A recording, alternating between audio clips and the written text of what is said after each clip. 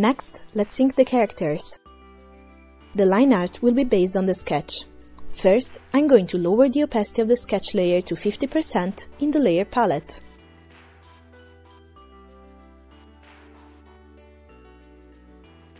Then I create a new raster layer.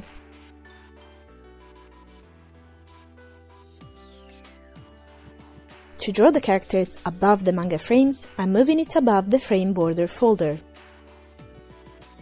I change the layer name to Character 1 in the layer palette.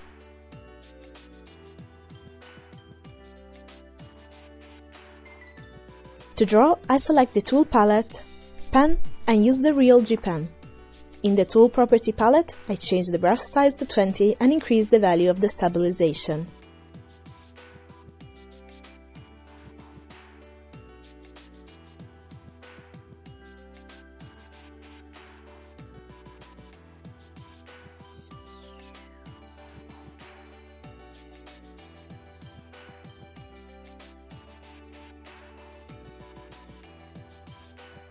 I use the Navigator palette to zoom in and out, rotate and flip the canvas, to put it at angles that makes it easier for me to draw.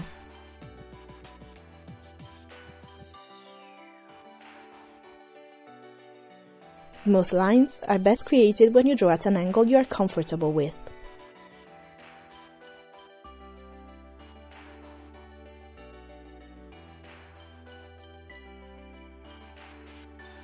Switching between the pen and eraser tool, I keep inking the picture.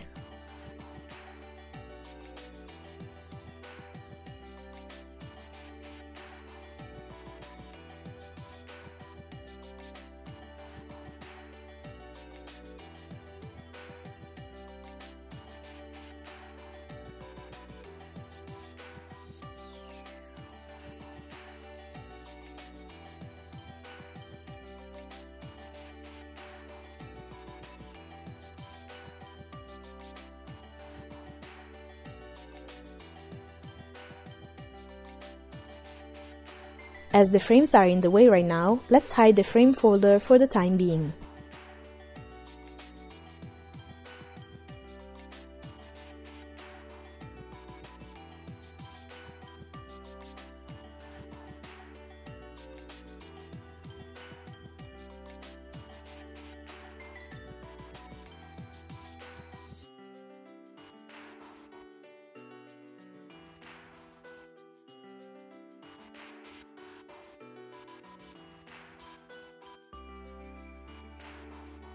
In the case of a black and white manga, marking the parts that are all black at this stage makes it easier to work later.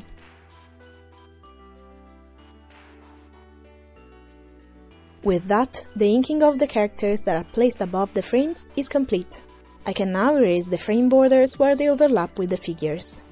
To do that, I create a new raster layer and move it between the character 1 layer and the frame border folder.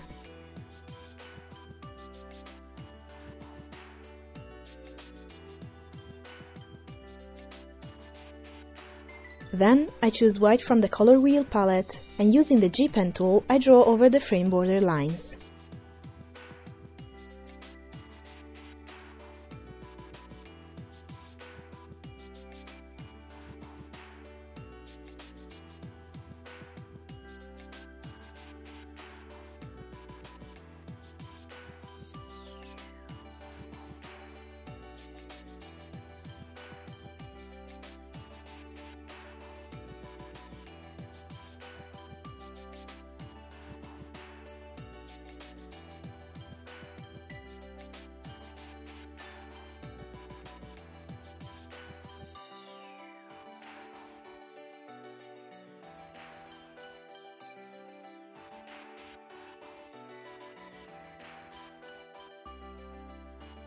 A different way to do this is to use the Auto Select tool and refer edited layer only to select, and select the space surrounding the characters.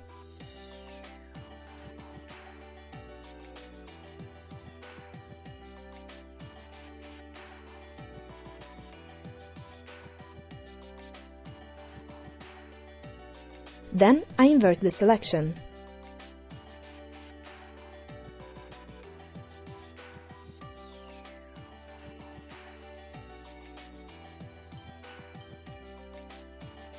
As before, I create a new raster layer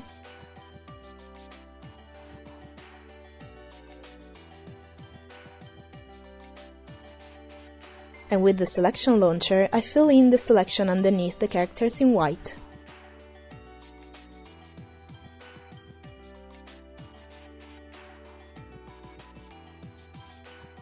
Then I deselect everything.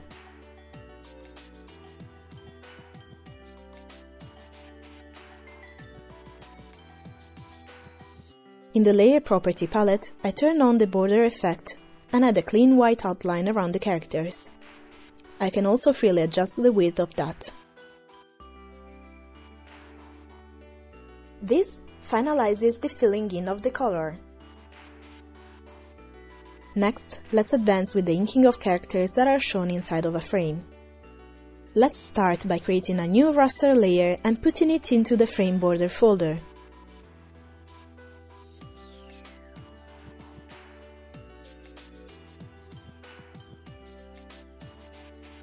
When clicking the layer mask of the frame border folder, the mask will be enabled. I select the previously created layer and then continue inking as before.